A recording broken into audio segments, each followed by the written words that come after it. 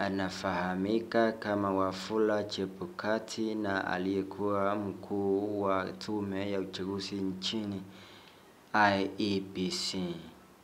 Wengi wetu tunajiuliza maswali kumhusu huyu Wafula Chebukati, pia tukijiuliza anatoka pande gani, ako na umri mgani na familia yake. Karibu ndani ya Gakona TV tuweze kujifahamisha mengi kuhusu Wafula Chebukati.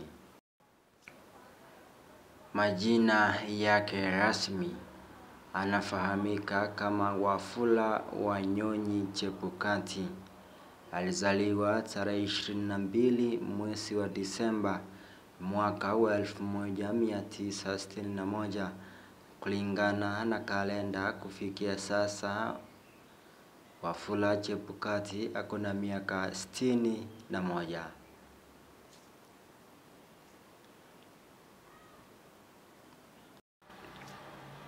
Wafula Chebukati kabila lake ni Muluya na anatoka katika upande wa Kiminini katika kaunti ya Trans Nzoia,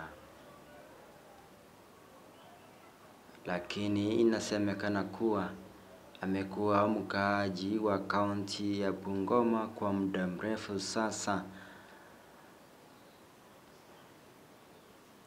Wafula Chebukati alisomea shule ya St Peters Mumias Boys, baadaye akafaulu kujiunga na Pokori Secondary School na hatimaye akamalizia masomo yake ya sekondari katika shule ya Lenana High mjini Nairobi.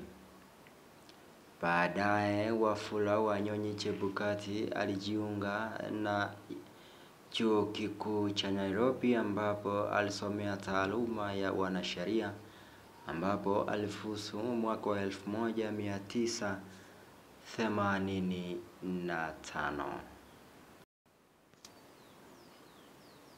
Taaluma ya Wafula Chebukati kwa sasa, yeye ni mwanasheria akiwa ni wakili. Itakumbuka kuwa mwaka wa elfu mbili na saba Wafula Chebukati aliweza kupoteza kiti cha ubunge kwenda kwa mpinzani wake Eugene Wamalwa wa chama cha PNU katika eneo bunge la Saboti.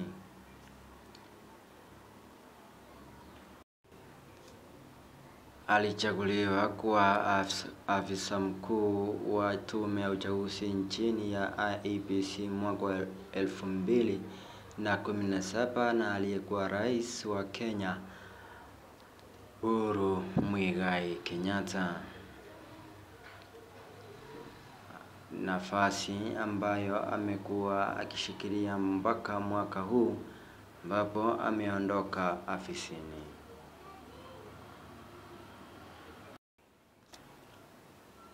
Wafula Chebukati amemwoa mke wake mpendwa anayefahamika kama Mary Chebukati ambaye hajatuambia idadi ya watoto waliozaa naye.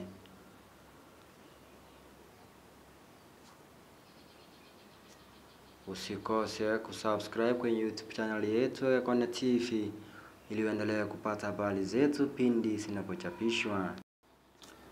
Wafula Chebukati ni tajiri mkubwa kwani mshahara wake uko takriban shilingi elfu mia tisa ishirini na nne ukitoanisha na mishahara ingine ambayo iko kando na mshahara huo.